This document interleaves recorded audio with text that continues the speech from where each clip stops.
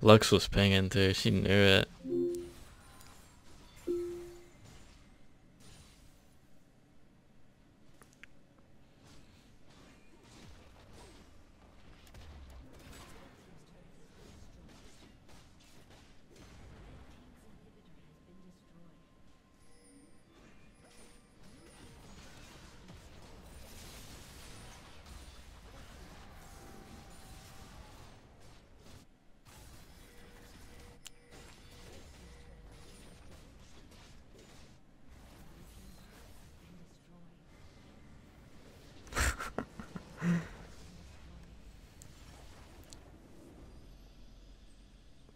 And we won.